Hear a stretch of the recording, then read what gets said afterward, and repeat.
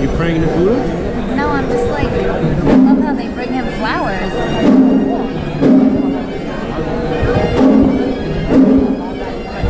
And they like fix them all pretty on here before they pray.